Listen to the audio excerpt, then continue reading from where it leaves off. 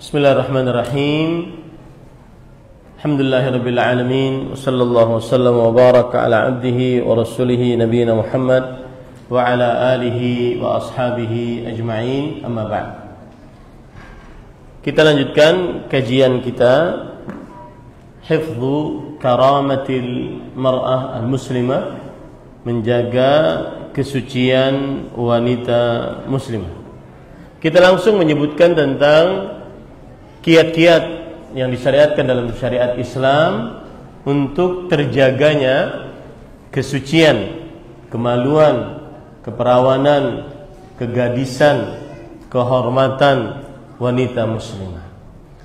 Dan sebelumnya saya ingin katakan lagi bahwa bagi seorang wanita muslimah tidak ada sesuatu yang paling berharga yang dimilikinya setelah akidahnya melainkan kesuciannya keperawanannya kegadisannya.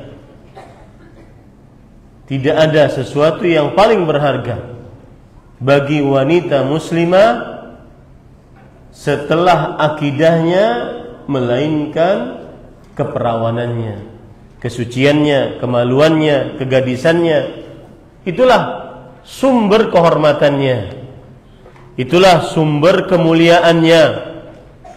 Makanya Maryam alaihissalam ketika beliau diberitahukan oleh Jibril alaihissalam untuk mendapatkan anak laki-laki beliau langsung mengatakan bahwa tidak pernah ada seorang pun yang menyentuhku. Walam yamsasni bashar. Tidak ada seorang manusia pun yang menyentuhku. Walam aku baghiyah. Dan aku tidak pernah menjadi wanita yang menjual kehormatannya.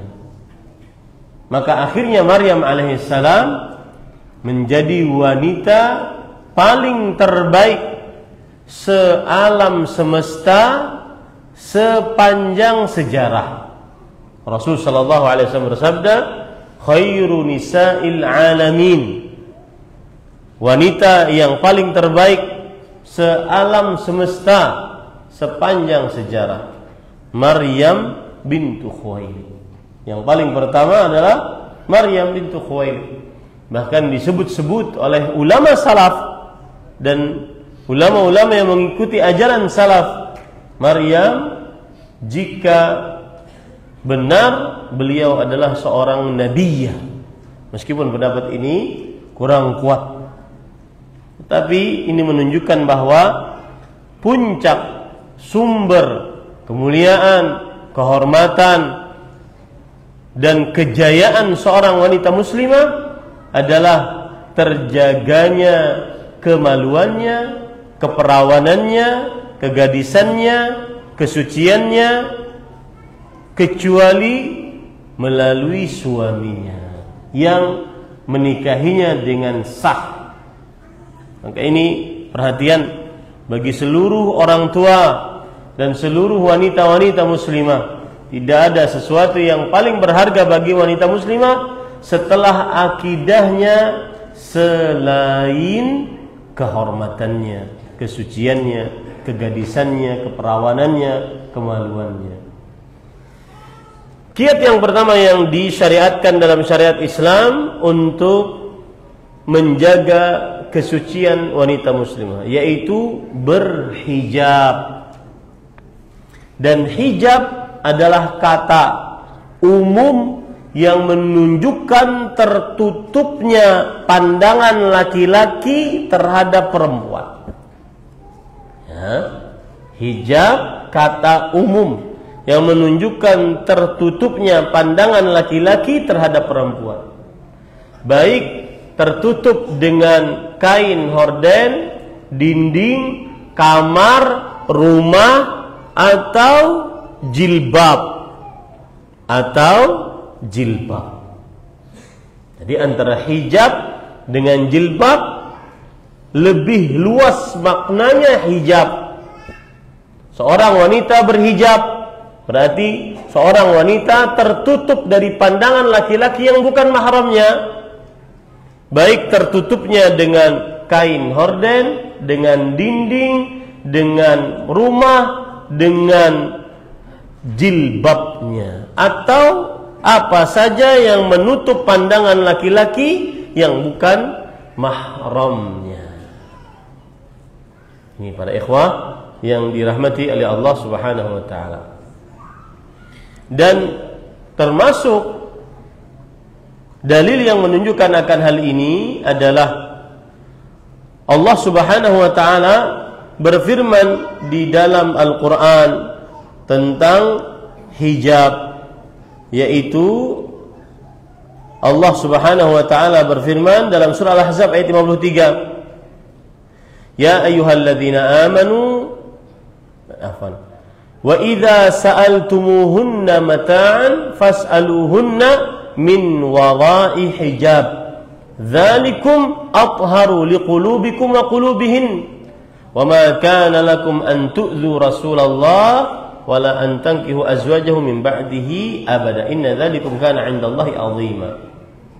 yang artinya jika kalian wahai para sahabat Nabi radhiyallahu anhum meminta makanan kepada istri-istri Nabi maka mintalah dari belakang hijab Cara yang demikian itu lebih suci bagi hati kalian dan hati para perempuan dan tidak boleh kalian menyakiti hati Rasulullah SAW dan tidak pula mengawininya mengawini istri-istrinya selama-lamanya sesudah beliau wafat. Sesungguhnya perbuatan itu amatlah desa, besar dosanya di sisi Allah Subhanahu wa taala. Para ikhwan yang dirahmati oleh Allah Subhanahu wa taala, ayat ini turun ketika Umar bin Khattab berkata kepada Rasul sallallahu alaihi wasallam, "Ya Rasulullah, Inna nisa'aka yadkhulu alaihinna al-barru wal fajiru. Wahai Rasulullah, sesungguhnya istri-istrimu banyak yang menemuinya dari para laki-laki, ada yang baik, ada yang buruk. Falau hajabtahunna.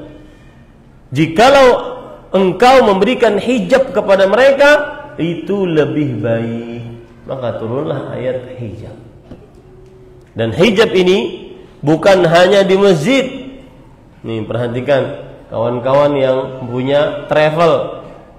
Kadang-kadang ada manasik umroh, manasik haji dan melakukannya di hotel atau di sebuah ruangan. Kenapa nggak pakai hijab? Kenapa tidak pakai hijab? Seakan-akan hijab hanya diwajibkan di Masjid Al-Amin. Ya, hijab di mana-mana. Berhijablah seorang wanita muslimah di hadapan laki-laki yang bukan mahramnya. Berhijablah.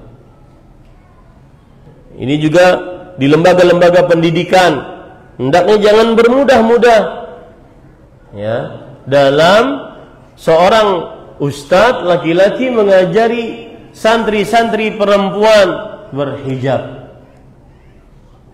Nah, ini salah satu yang Eh, mungkin sebelumnya saya ingin tahaddusan bin ni'mah sembari meminta doa. Saya sedang melanjutkan kuliah S2. Mudah-mudahan Allah Subhanahu wa taala memudahkan untuk menyelesaikannya. Saya ingin belajar lagi. Ya, karena belajar tidak pernah selesai. Dan salah satu yang menyebabkan saya tidak meneruskannya di dalam negeri di beberapa universitas terjadi ikhtilaf.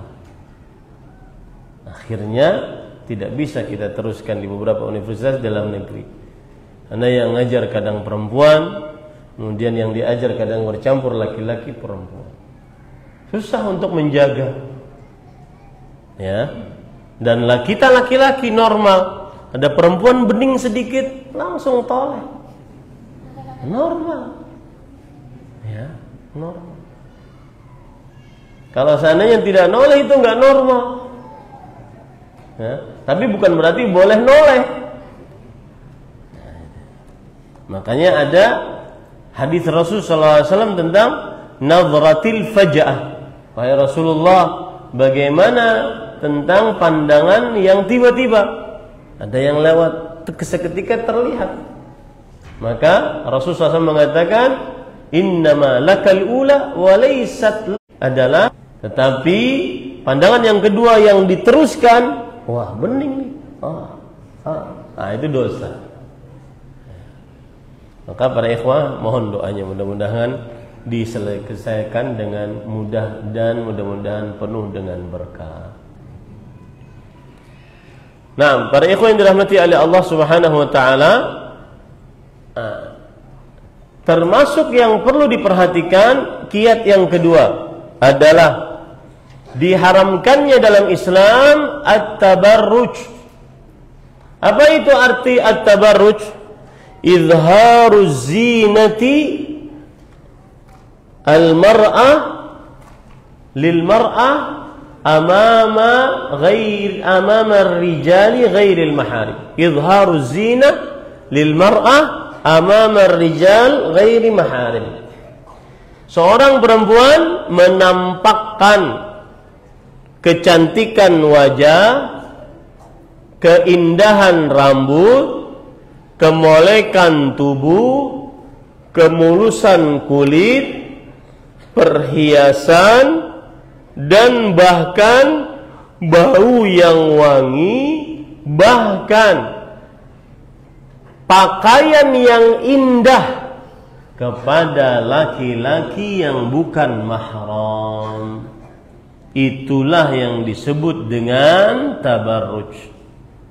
Seorang perempuan wanita muslimah memperlihatkan kecantikan wajah, keindahan rambut, kemolekan tubuh, kemulusan kulit dan warna kulit, perhiasan, wangian tubuh dan juga kebagusan, keindahan pakaian termasuk di dalamnya cadar-cadar yang indah.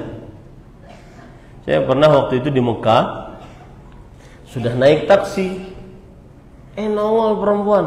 Masuk ke dalam taksi kepalanya, publik figur, pakai cadar, publik figur maksudnya artisah, artis laki-laki, artisah perempuan. Ya. Artisah, nongol masuk ke dalam. Kemudian beliau mengatakan, pakai cadar, tapi cadarnya penuh dengan suara ski. Ustaz doakan saya agar saya istiqamah. Maka ini tidak bisa dilakukan seperti itu. Ya. Cadar-cadar yang indah, ada namanya di sini Siti Zubaidah. ya.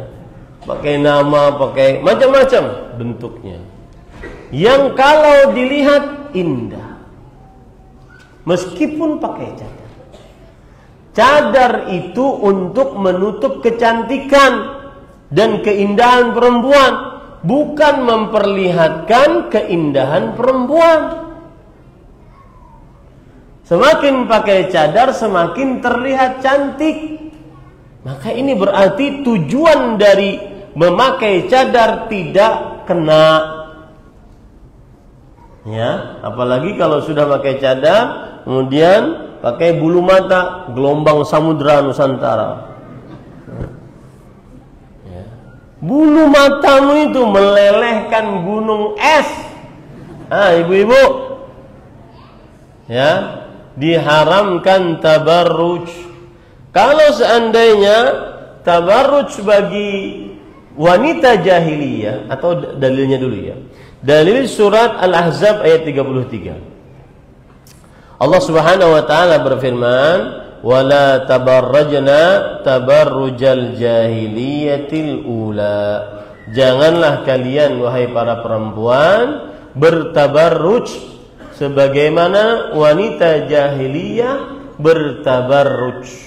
Kalau kita buka tafsir Imam Ibnu Katsir bagaimana para ulama tafsir menafsirkan bertabarruj ala jahiliyah. Ingat ya.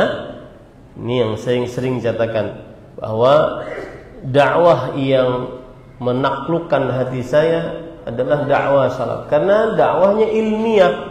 Ada ayat, ayatnya ditafsiri oleh para ulama, tidak menafsiri dengan penafsiran sendiri yang akhirnya nanti penafsiran-penafsiran datang yang mana para ulama belum pernah menafsirkannya selama 14 abad. Ya, ada surat pemusik lah, ada pemusik di samping Nabi lah. Allah Ya. Kayak ini coba lihat Imam Mujahid rahimahullah. Beliau berkata dan Imam Mujahid ahli tafsir generasi tabi'i. Dan apa salahnya kita baca tafsir dari ulama salaf? Bahkan itu lebih selamat. Ya, itu lebih selamat. Dan itulah manhaj salaf. Beragama berdasarkan Al-Quran, hadis dipahami para salafus saleh. Tidak ada yang perlu ditakuti dari dakwah ini. Dan tidak ada yang perlu disembunyikan dari dakwah ini. Dakwahnya terang benderang. Taraktukum alal mahajjatil bayda lailiha kanahariha. La yazighu anha illa halik. Aku tinggalkan kalian di atas ajaran yang jelas. Malamnya seperti siangnya saking jelas. Itu beragama berdasarkan Al-Quran hadis yang dipahami oleh para sahabat. Ya ini para ikhwan. Sudahlah, saya nasihatkan yang menghalalkan musik, ada musik yang halal, ada musik yang haram, kemudian ada e, alat musik tidak ada hukumnya, sudahlah, bertobat kepada Allah. Bertobat kepada Allah. Karena akibat fatwa ini timbullah kreasi-kreasi dari kaum muslimin. Ada dugem halal loh, Pak. Iya, itu akibat Gara-gara ada musik halal, musik haram. Dugem halal. Yang masuk ke dalamnya wanita-wanita berjilbab. Saya nasihatkan bertobat kepada Allah Subhanahu wa taala. Bertobat kepada Allah dan rubah cara beragamanya. Beragama berdasarkan Al-Qur'an, hadis dipahami oleh para salafus Jangan ngarang-ngarang nafsir Al-Qur'an. Apakah kita takut kepada Allah Subhanahu wa taala? Ataquluna 'ala Allahi ma la ta'lamun? Apakah kalian berbicara tentang Allah tentang sesuatu yang kalian tidak ketahui? Itu dosa besar. Ya, hati-hati. Jadi urusannya di sini bukan urusan personal, akan tapi urusan dakwah mendakwahi kaum muslimin. Lihat Imam Mujahid bercerita. Dan Imam Mujahid ahli tafsir rahimahullah dari kalangan para tabi'in. Yang para ulama mengatakan idza ja'aka an mujahid fahasbu jika datang kepadamu tafsiran dari Imam Mujahid cukup bagimu. Karena dia ahli tafsir dan para ikhwah khusus untuk masalah musik sudah dia ijma imam yang empat haram ijma para salafus saleh haram Ya, dan ini sudah kita bahas. Ya. Apa susahnya mengharamkan?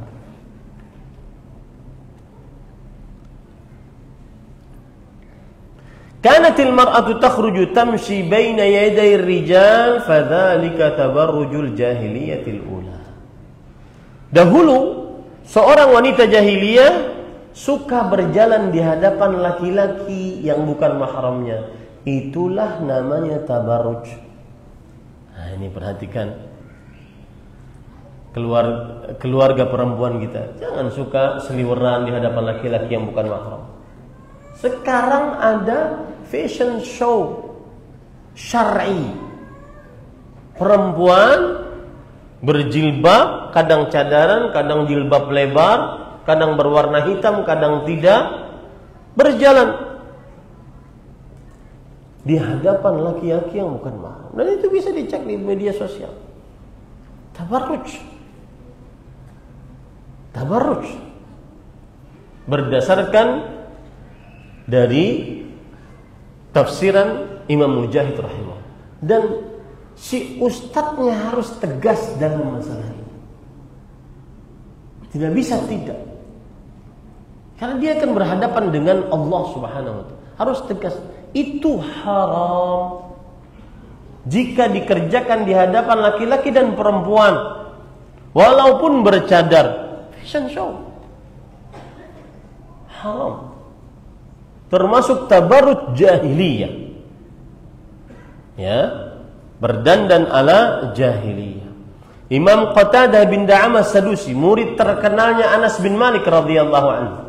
Beliau mengatakan, "Idza kharajtunna min buyutikunna wa kanat lahunna misyatun wa takassurun wa taghannujun, fanahallahu an dzalik." Tabarruj adalah jika seorang wanita keluar dari rumahnya dan di, berjalan di hadapan laki-laki yang bukan mahramnya dalam keadaan memiliki tata cara jalan tersendiri, melenggak-lenggok menggoda para lelaki.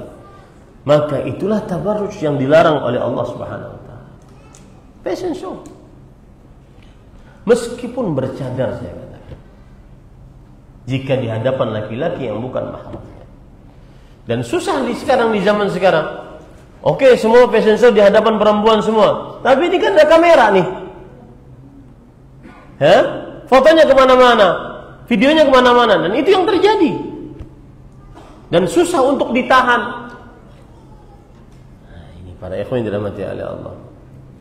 Kemudian lagi Muqatil bin Hayyan, seorang ahli tafsir digenasi uh, para ulama tafsir. أنها tulqil khimara ala ra'siha wa la tashudduhu fayuwari qalaidaha wa qurtaha wa unuqaha wa yabdu dhalika kulluhu minha wa dhalika tabarruj thumma ammat nisa'ul mu'minina fi tabarruj bahwa seorang wanita jahiliyah bertabarujnya caranya bagaimana? Pakai kerudung. Persis zaman sekarang.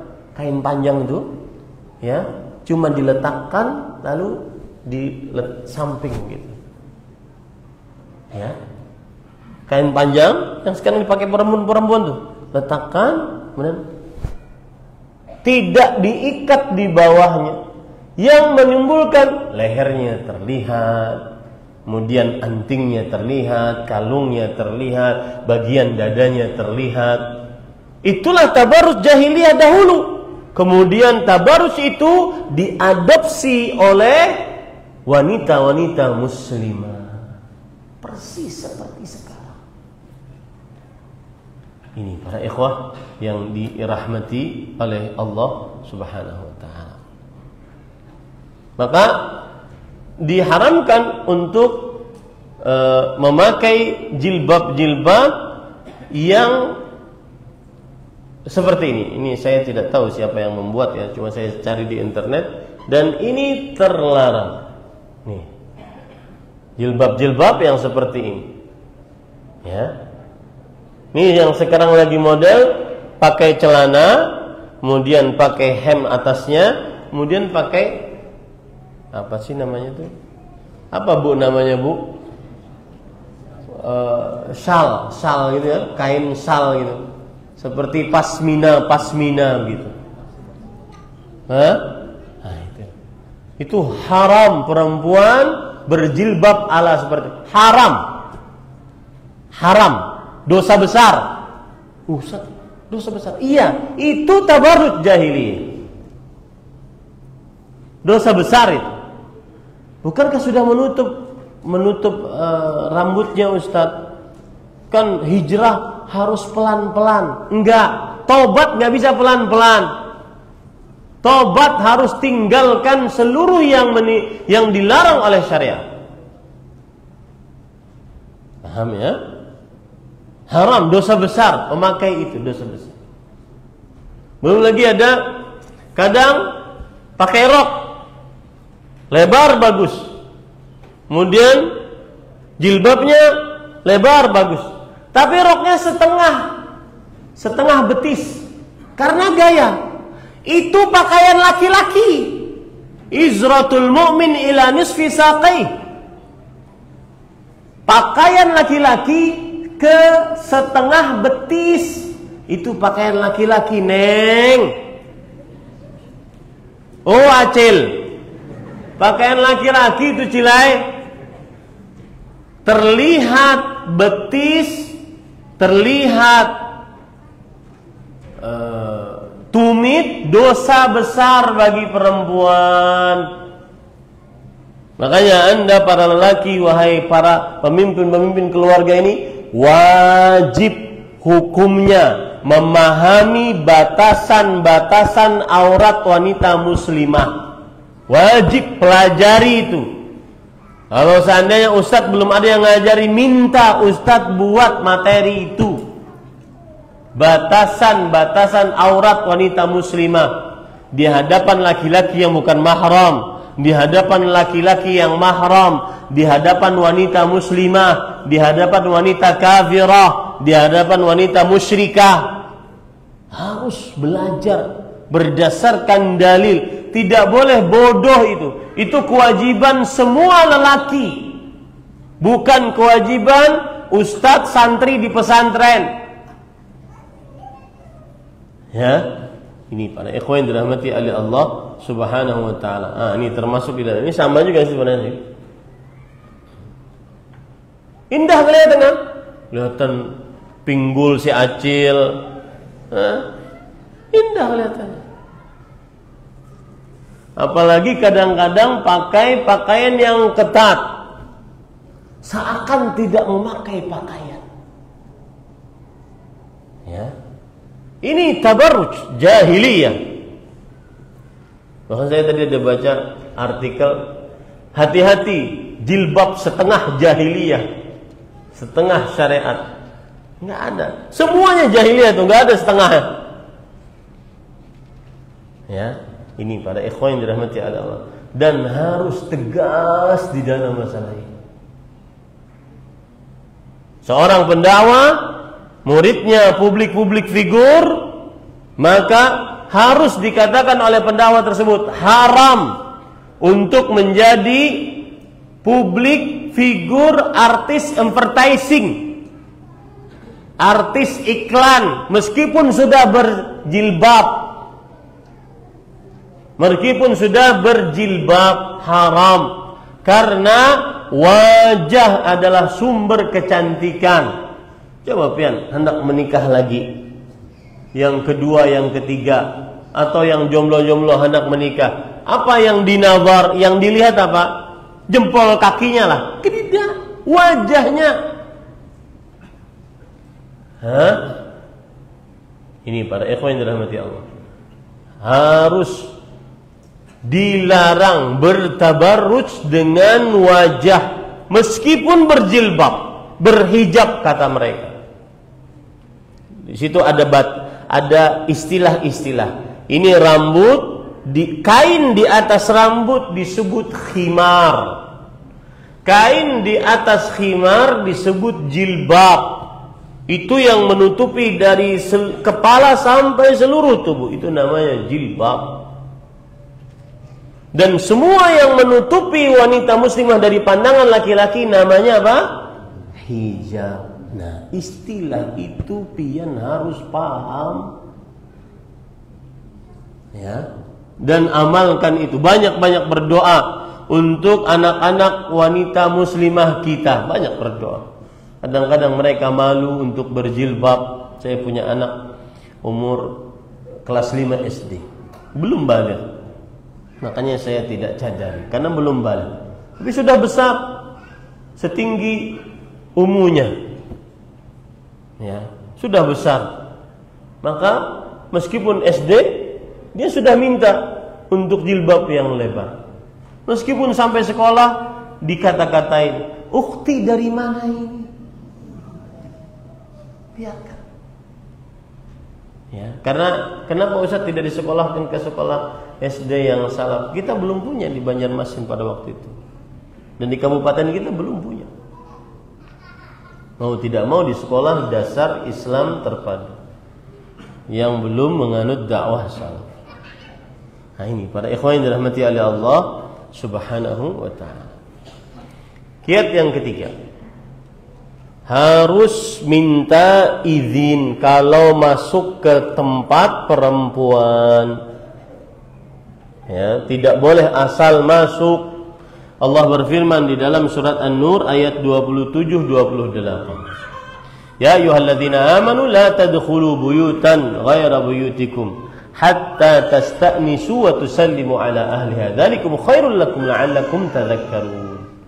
Wahai orang beriman, janganlah kalian masuk rumah selain rumah kalian sampai kalian minta izin dan memberikan salam kepada penghuninya. Yang demikian itu lebih baik bagikan agar kalian mengingatnya.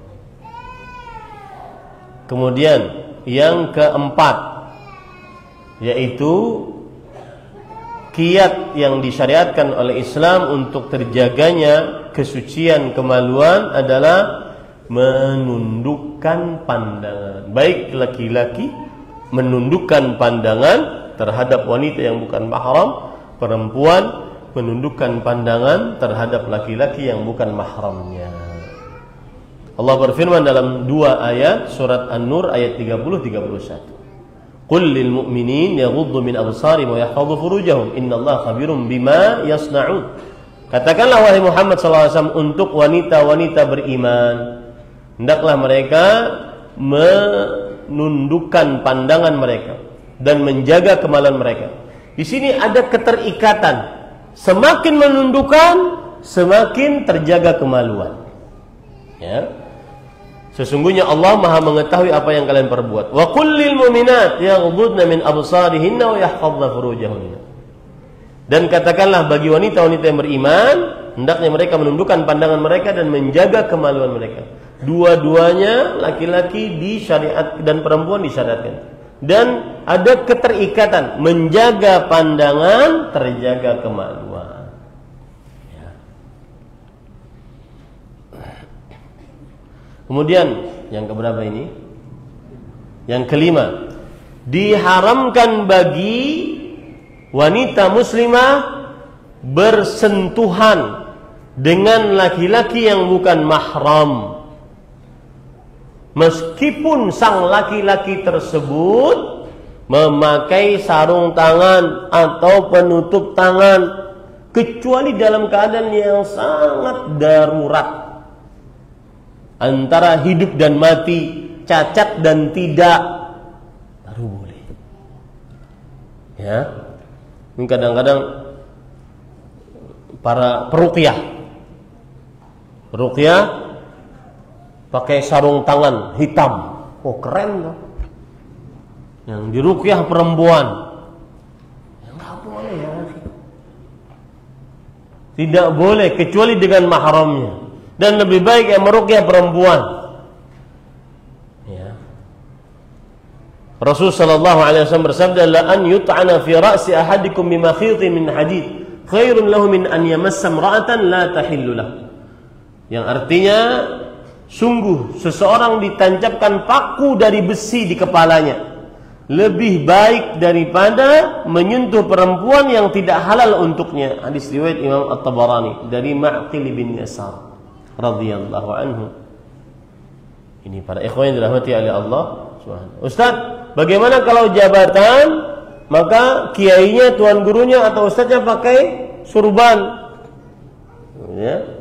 Pakai surban atau kadang-kadang begini e, perempuannya disentuh di atas jilbabnya ya. maka jauh kenapa karena Aisyah radhiyallahu anha bercerita ma massat yadu Rasulullah sallallahu alaihi wasallam imra'atan qat illa imra'atan yamlikuha Rasulullah SAW tidak pernah menyentuh seorang perempuan pun kecuali perempuan yang dia miliki istrinya dan budaknya Kemudian Rasul wasallam juga bersabda, "Inni la usafihun nisa." Aku tidak berjabat tangan dengan perempuan yang bukan mahram. Ini para ikhwah. Dan itu umum menunjukkan bahwasanya Rasul SAW tidak berjabat tangan dengan perempuan yang bukan mahramnya.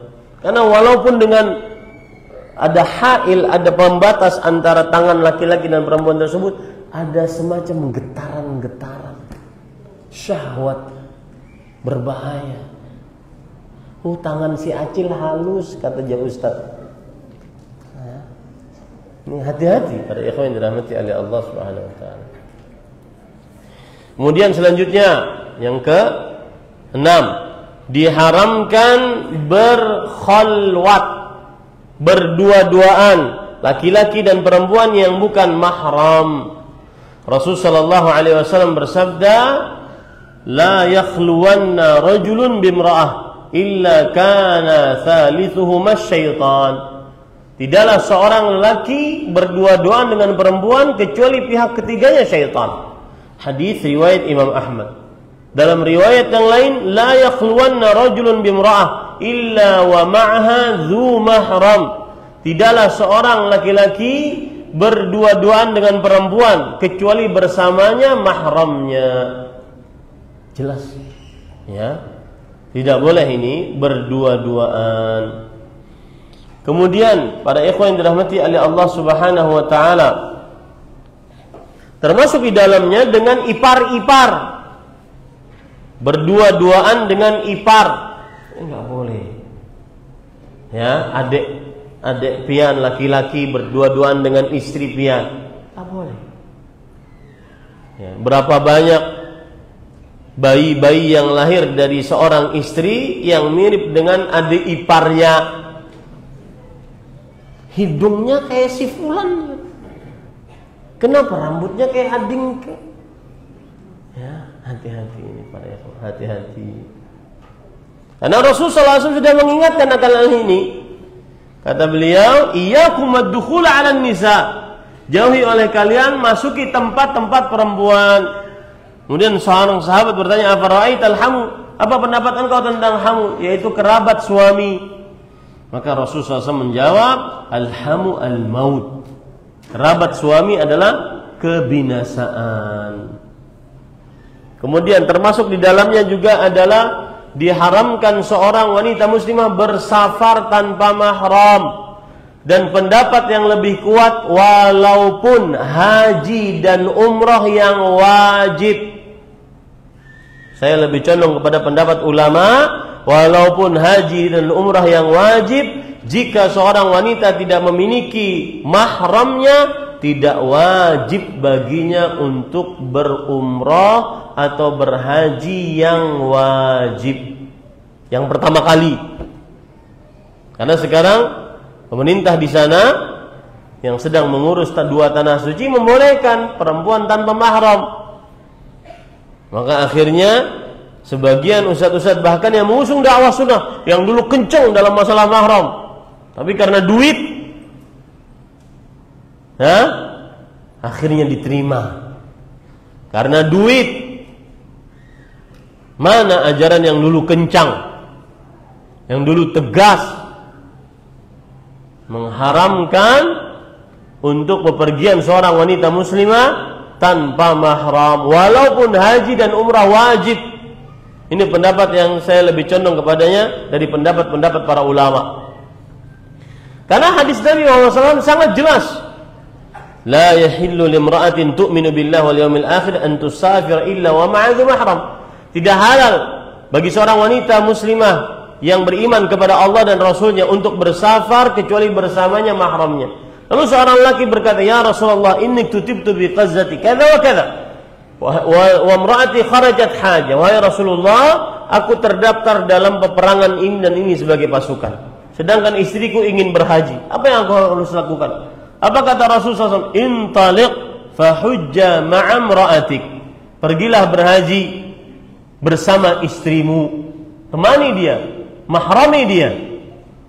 Adapun alasan-alasan yang dipakai oleh sebagian madhab yang mengatakan bahwa boleh berhaji dan berumrah tanpa mahram. Kalau itu haji wajib, haji eh, umrah wajibah. Ingat ya, yang dibolehkan oleh madhab yang membolehkan hanya umrah dan haji wajib yang sunnah nggak boleh. Apalagi safar lainnya. Hanya umrah dan haji wajib. Mereka beralasan yaitu Aisyah radhiyallahu anha berumrah atau berhaji tanpa mahram. Ini tidak benar. Belum ada dalil yang tegas Aisyah radhiyallahu anha berhaji dan umrah tanpa mahram. Bahkan itu termasuk daripada pe apa ya? Prasangka yang tidak baik kepada Aisyah radhiyallahu anha.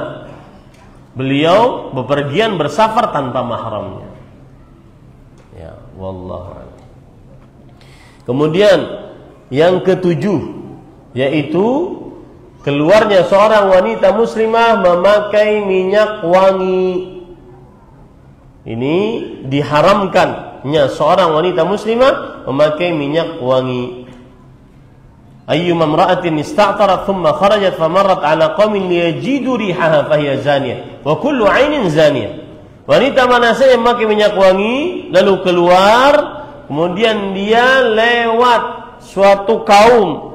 Agar kaum tersebut kemudian kaum tersebut mencium bau wanginya maka wanita tersebut pezina. Dan setiap mata yang melihatnya berzina. Pezina maksudnya adalah bisa menghantarkannya kepada perbuatan zina.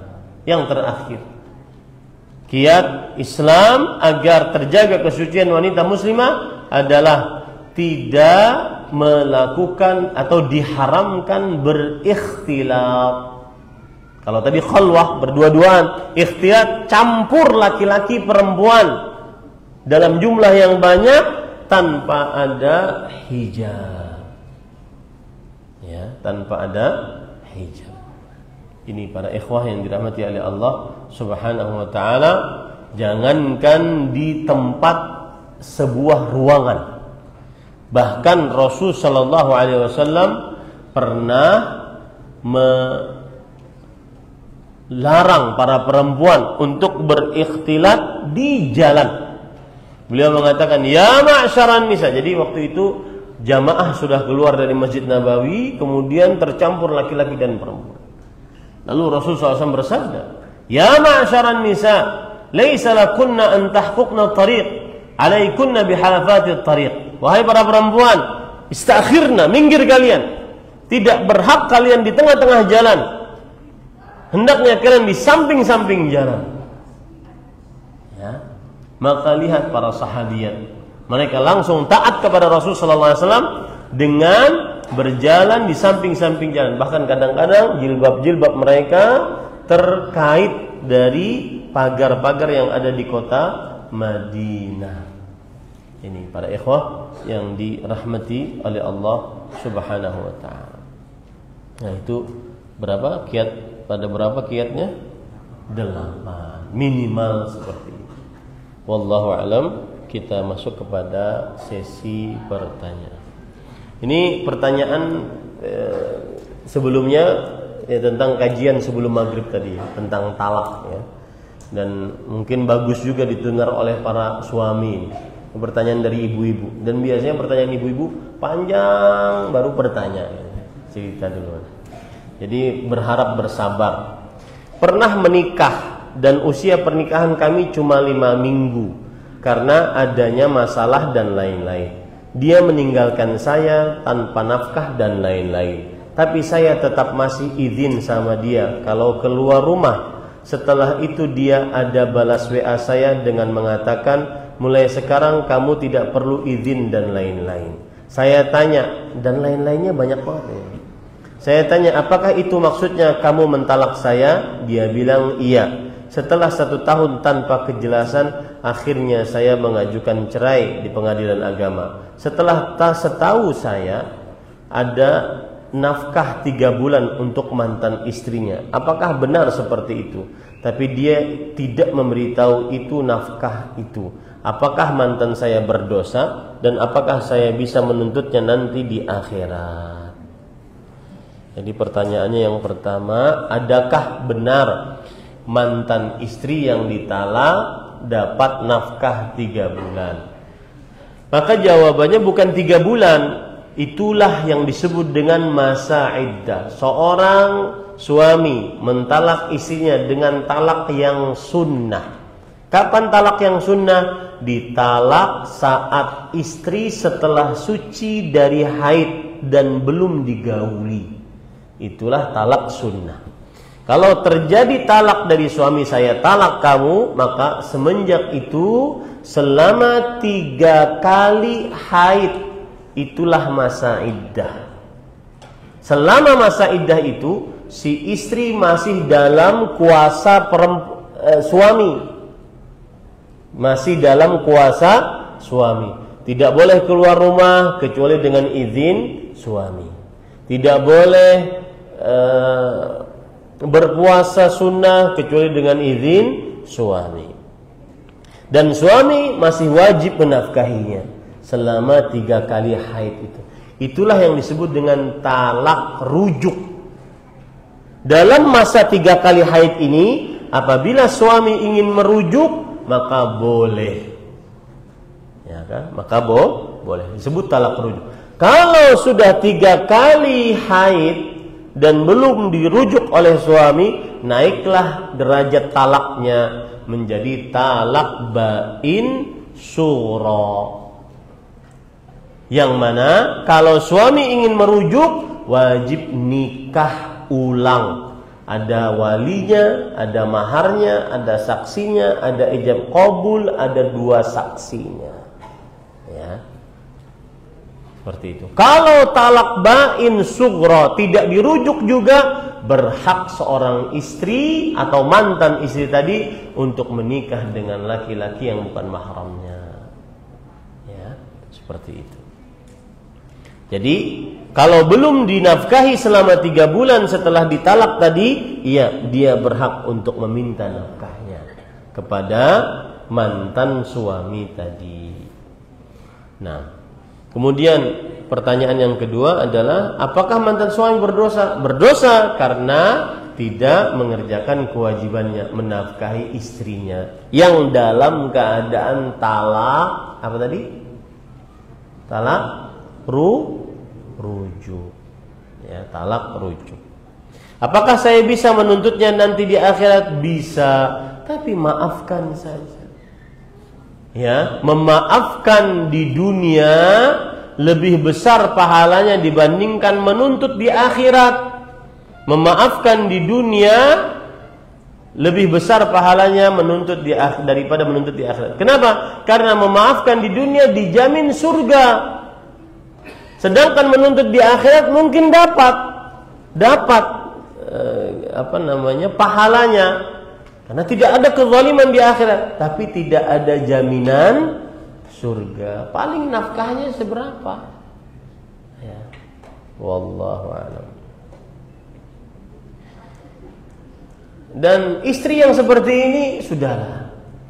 Ucapkan atas pernikahan yang terdahulu qaddarallahu ma syafa'al. Move on lah. Cari laki-laki soleh yang lain. Ini banyak di sini. Ya yang siap menikahinya. Jadi jangan sudah mantan the ex sudah jangan terlalu dipikirkan. The ex jangan terlalu dipikirkan. Ya.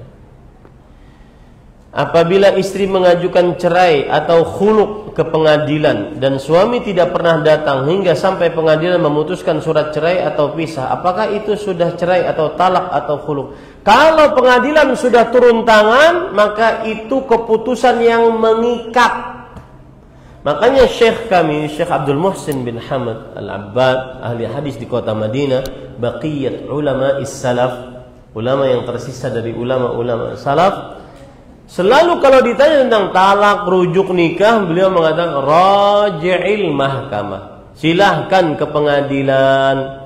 Karena pengadilan itu hukumnya, keputusannya mengikat Adapun antum tanya kepada ustadz, ustadz hanya memberi fatwa, tidak mengikat. Paham bedanya? Ya, silahkan ke pengadilan. Ya. Tetapi berjalannya waktu, istri dan suami bersama kembali. Tetapi karena merasa suami tidak pernah mentalak atau ngomong pisah, jadi masih merasa sah bahwa dia istrinya. Bagaimana hukumnya Ustadz? Apakah perlu nikah lagi? Maka jawabannya kalau sudah turun surat di pengadilan berarti jatuh talak sesuai dengan keputusan pengadilan. Ya, sesuai dengan keputusan pengadilan. Memang tadi sudah kita jelaskan kepada ibu-ibu. hak mentalak adalah hak suami. Jadi kalau seandainya istri menggugat suaminya untuk dicerai, maka tergantung suami mau mencerai atau tidak. Kalau istrinya sudah tidak tahan lagi, Ustaz kezaliman ini Ustaz. Ya, tapi dia tidak mau mentalak-talak saya, saya selalu digantung, tapi saya di KDRT, saya diselingkuh, tidak sholat, bla bla bla, macam-macam akhlak dan sifat buruk suami. Maka adukan ke pengadilan. Pengadilan nanti memanggil sang suami. Kalau suaminya tidak mau datang, maka pengadilan berhak memutuskan dan keputusan pengadilan menikah. Nah, tergantung di dalam pertanyaan ini, sudah keluar belum keputusan pengadilannya? Kalau belum keluar dan suami belum mengucapkan kata talak, maka berarti masih apa? Istri sah suami tadi. Karena hak untuk mentalak adalah di tangan suami. Itu pentingnya. Memahami hak untuk mentalak adalah di tangan suami. Dan di sini kadang terjadi banyak kezaliman. Suami mengatakan, eh, istri mengatakan, ayo talak saya, saya sudah bosan dari istri kamu. Suaminya berbuat zalim segala macam KDRT, selingkuh, minum khamar, tidak sholat, berzina dan seterusnya. Ayo talak saya kata sang istri. Dan berlanjut seperti itu bertahun-tahun, belasan tahun. Di sini yang saya tidak tega. Perempuan sering sekali dalam posisi dizalimi, dianiaya. Nah, ini tidak boleh. Makanya saya mengangkat permasalahan talak ini agar tidak terjadi kezaliman terhadap perempuan. Dan memang perempuan selalu di pihak yang lemah. Fa innahunna awanun indakum. Sesungguhnya kalian para perempuan adalah tawanan di sisi suami kalian. Ini yang kadang kita punya anak perempuan dua ya. Saya belum bisa membayangkan bagaimana saya menikahkan anak perempuan saya. Ya. Enak aja ente ngambil saya capek membesarkan dari dari mulai orok sampai dia cantik soleha nanti ambil saya enaknya enak aja saya belum bisa membayangkan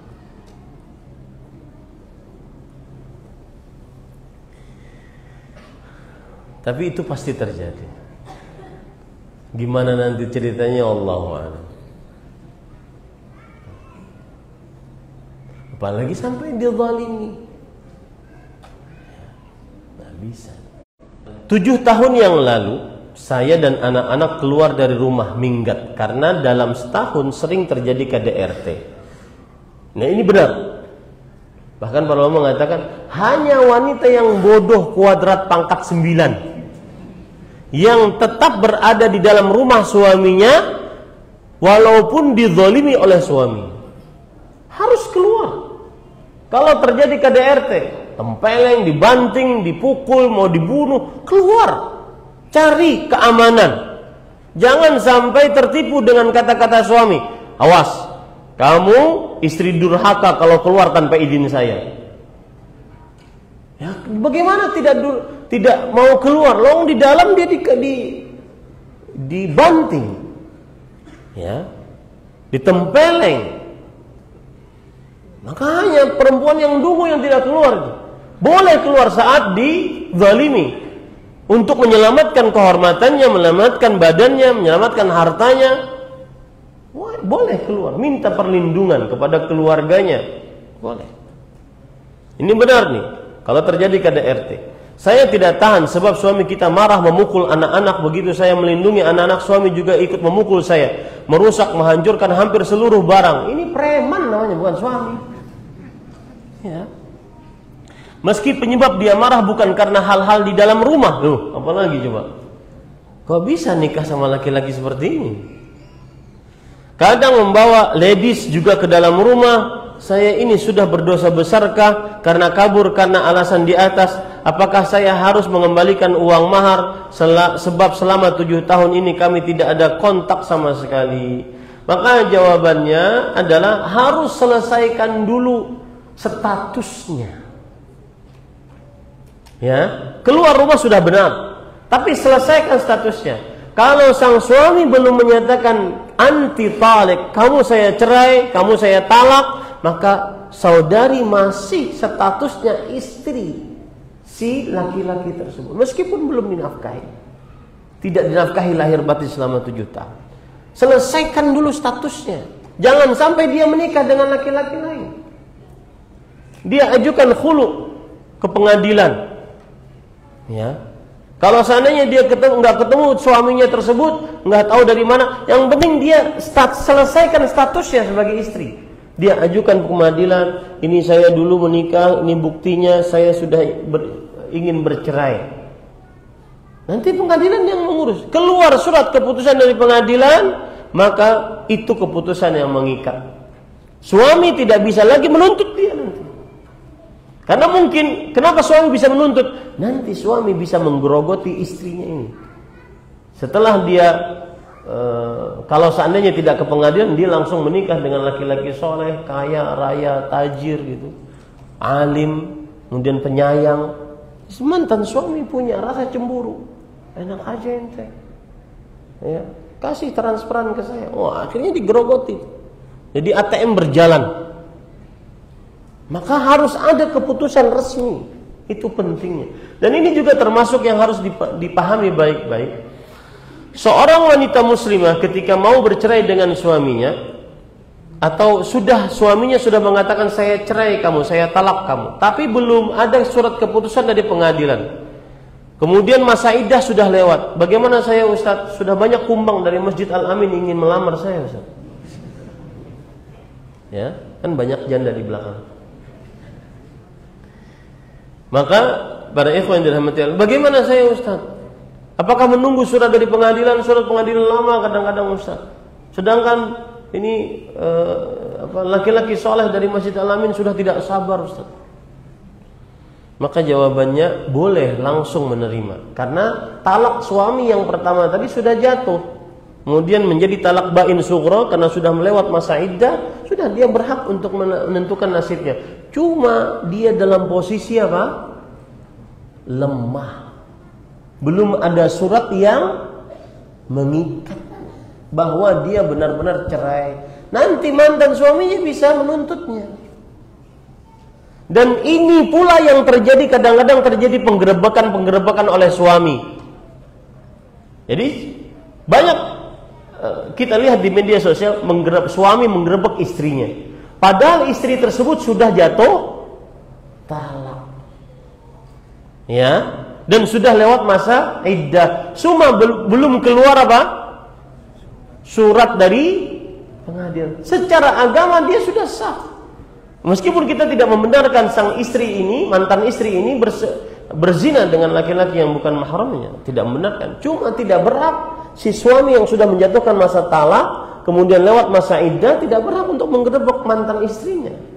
Karena tidak ada hak di situ. Paham maksud saya? Nah itu.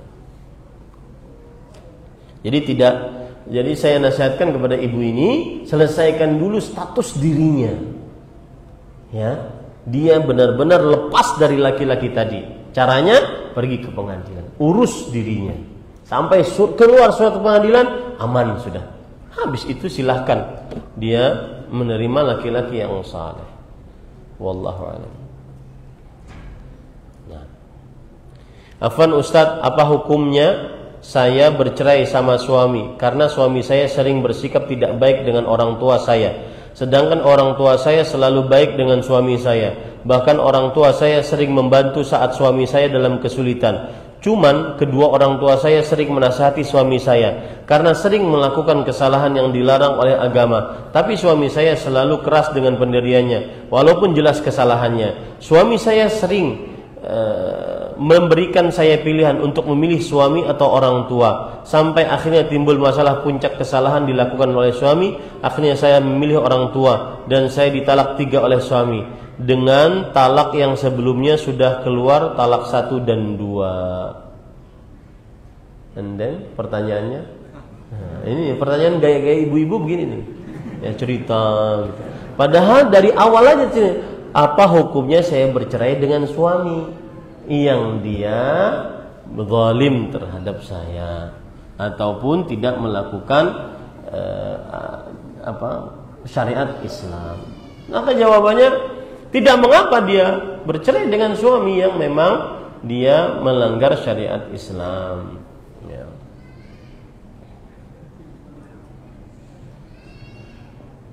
Jadi antum kalau punya istri, ini terutama yang belum belum nikah ya, dan juga yang sudah sudah nikah. Kalau beliau ingin cerita, dengarkan saja. Tugas kita jadi pendengar. Ya. Bahkan boleh itu. Lalu padahal kita nggak paham ceritanya. Lalu kadang ceritanya diulang-ulang. Lalu oh iya. Wah, bagus tuh. Wah. Ya. ya. Karena itu yang diinginkan oleh istri kita. Menjadi teman. Ya. Jangan sampai seorang laki-laki cerita seorang perempuan panjang lebar. Lah kasih. Panas sudah aku mendengar. Nah, ini paling tidak disukai oleh perempuan. Ya.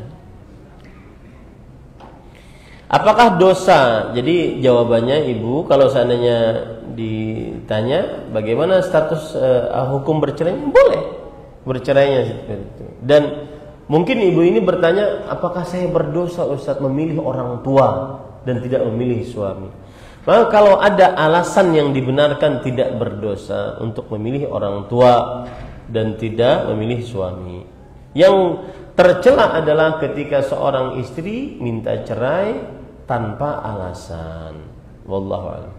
Apakah dosa riba atau judi itu bagian dari uzur perceraian? Iya.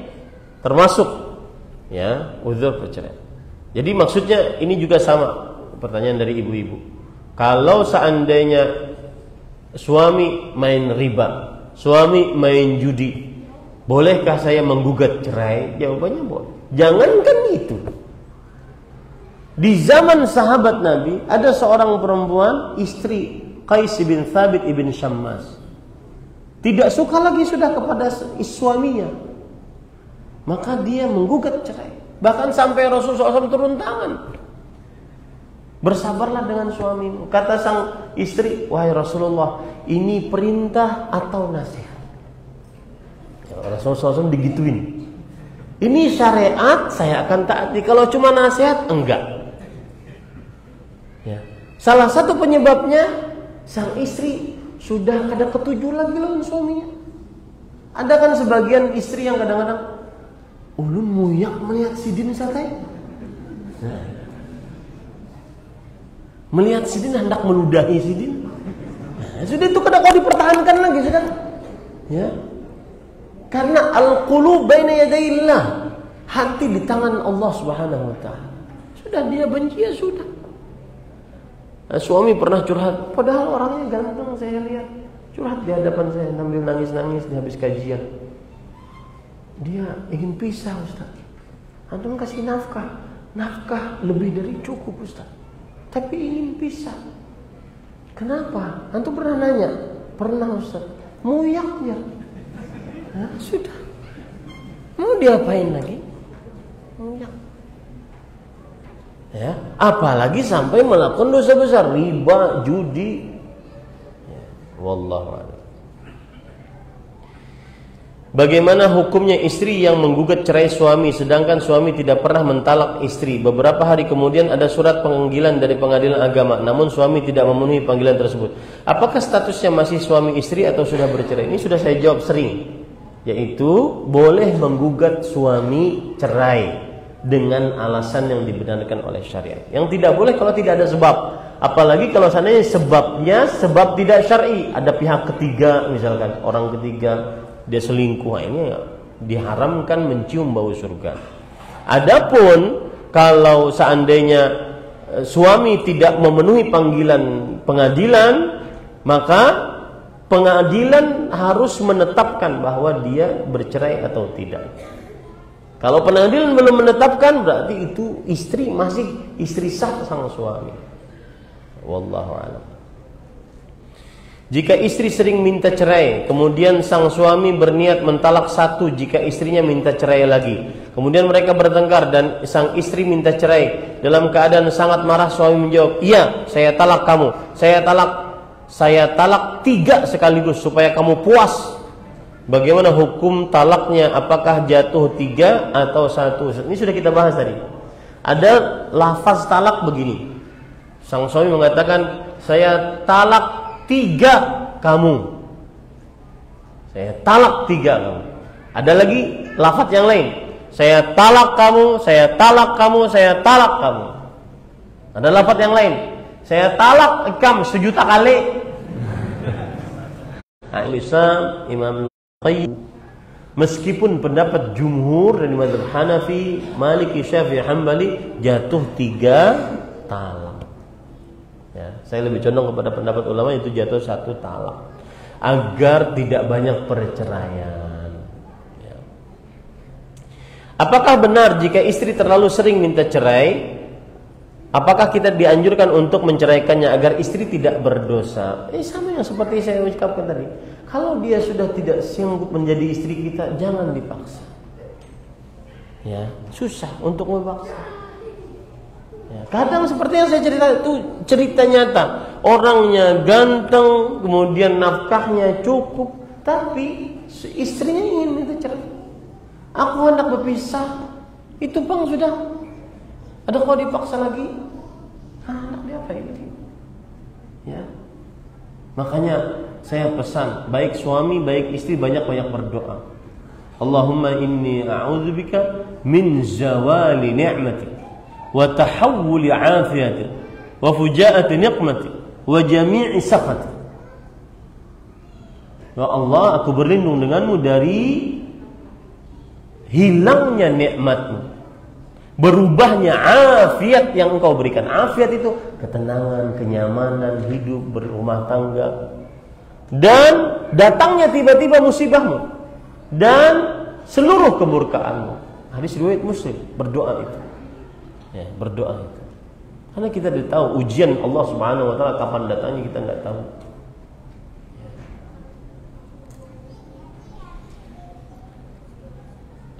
Bismillah.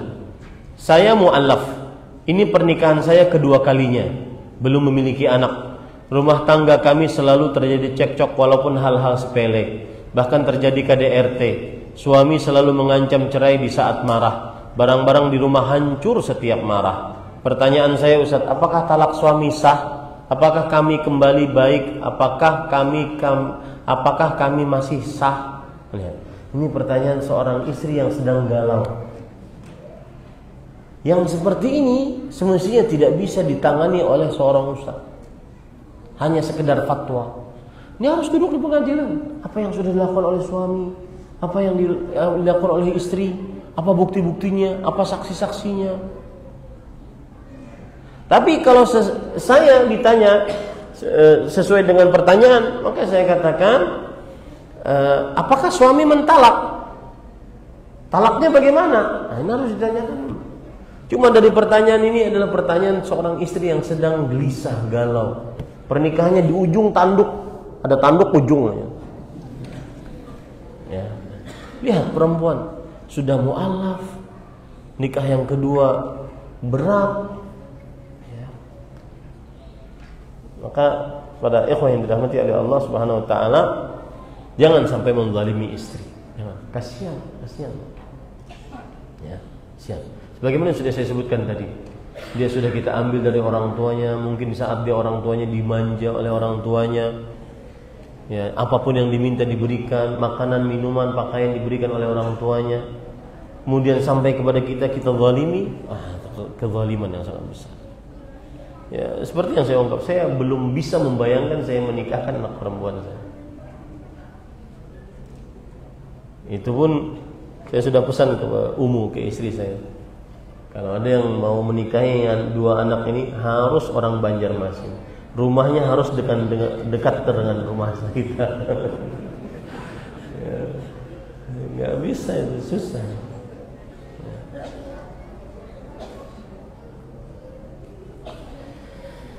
Apakah tetap dosa seorang ibu yang sudah melarang anak berpacaran namun anak tetap pacaran dan apa yang harus ibunya lakukan karena ibunya takut akan siksa Allah untuk diri si ibu dan anak itu sendiri karena seolah membiarkan anaknya pacaran sedang anak nggak bisa dinasihati. Maka jawabannya ini perhatikan menarik pada ikhwah. Saya kemarin uh, lihat media sosial ada syekh imam di Mekah namanya Syekh Dr. Yasir Ad-Dausani suaranya yang bagus itu Dua kali beliau membaca ayat Ya bunayyar kam ma'na Wala takum ma'al kafir Ini ayat tentang Nabi Nuh alaihissalam Yang membuat kapal Di daratan. Kemudian setelah itu e, Naik orang-orang setelah air bah datang Naik orang-orang beriman kepada Allah Naik di kapalnya. Sedangkan anaknya tidak masuk. Itu kan sedih sekali itu yang membuat Syekh kemudian menangis. Ya bunayya arkam ma'ana wa la takum ma'al kafirin. Wa hala bainahuma al-mawj fakana min al-mughraqin. Akhirnya uh, sang anak mengatakan uh,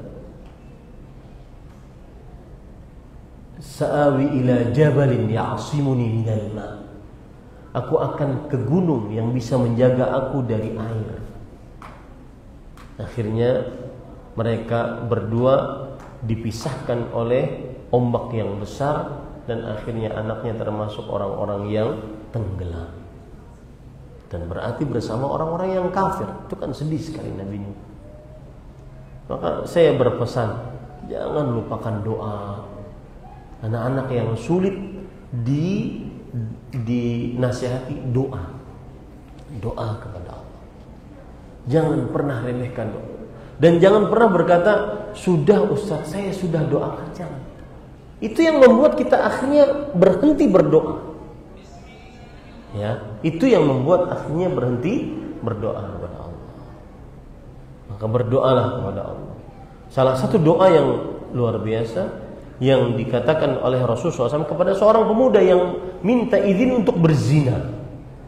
Allahumma ighfir dzambah hassin farjah. Wa ya Allah ampunilah dosanya. Dan jagalah kemaluannya dan tahhir qalbah sucikan hati. Doa doakan anak. Dan satu lagi ini yang saya akan bahas nanti di balik papan jaminan untuk anak. Satu lagi jadilah orang tua yang saleh. Salah satu jaminan untuk anak kita adalah orang tua yang saleh. Keberkahan orang tua yang saleh akan dirasakan oleh sang anak. Wallahi lisan kita meskipun muntung kita ini sampai bebuih jar orang Banjar. Kalau belum diberi petunjuk oleh Allah nggak akan masuk. Nasihat kita nggak akan masuk berdoalah kepada Allah Subhanahu wa taala. Jadi, kalau sudah menasihati maka la taziru wazratun wizra ukhra. Seorang yang berdosa tidak akan ditanggung dosanya oleh orang lain. Selama orang tuanya sudah berusaha semaksimal mungkin. Wallahu a'lam. Dan tidak boleh berhenti untuk nahi mungkar karena berpacaran itu mendekatkan kepada perbuatan zina. Ya. Nah, nah, sudah jam 9 lewat 10. Masih banyak pertanyaannya. Cukup kiranya ya, nanti antum pulang terlalu malam. Dan e, sepertinya saya mohon izin untuk e, bulan Mei, bulan Juni belum bisa hadir karena bulan Mei ada ustadz besar ke Banjarmasin dan panitia meminta saya harus hadir di Banjarmasin dan Allah bertakdir itu tanggalnya pas jadwal saya ke Samarinda dan bulan Juni mungkin akan safar haji jadi tidak bisa berhadir. Nah kita ketemu lagi Juli tahun ajaran baru kan. Ya, karena jadwalnya cuma satu bulan sekali. Semoga yang disampaikan bermanfaat. Di zaman-zaman seperti ini para ikhwah banyak-banyak berdoa kepada Allah. Berdoa kepada Allah. Karena hanya Allah yang bisa menetapkan kolbu menetapkan hati, menetapkan keistiqomahan dan saya berpesan perbanyaklah ibadah kepada Allah. Dan tidak perlu untuk me mencela orang yang bermaksiat. Ya, tidak perlu. Ada perkataan menarik mungkin malam Jumat yang lalu saya sudah sampaikan tapi saya ingin ulangi Syekh bin Bas rahimahullah ditanya Wahai Syekh apa sebabnya ada orang istiqamah lalu dia menyimpang dari jalan istiqamah maka Syekh mengatakan ada dua sebab yang pertama dia tidak takut kepada Allah, yang kedua dia pernah mencela orang yang bermaksiat. Menghina orang yang bermaksiat. Orang yang bermaksiat itu kita nasihati, kita amar ma'ruf nahi mungkar. Bukan direndahkan, bukan dihina. Yang membuat kita akhirnya merasa sok suci. Nah, ini hati-hati mencela orang yang bermaksiat.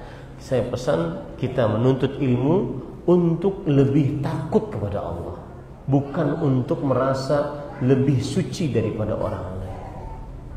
Ya, nah, ini ini nasihat untuk diri, pri, pri, diri pribadi sebelum para jamaah sekalian. Ini yang bisa disampaikan. Mohon maaf yang sudah memberikan pertanyaan belum dijawab. Banyak sekali pertanyaannya, Pak Oji.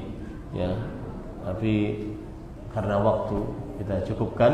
Subhanakallah bihamdik. Ashhadu an la ilaha illa anta astaghfiruka wa atubu ilaik. Wa sallallahu nabiyana Muhammad. Wassalamualaikum warahmatullahi wabarakatuh.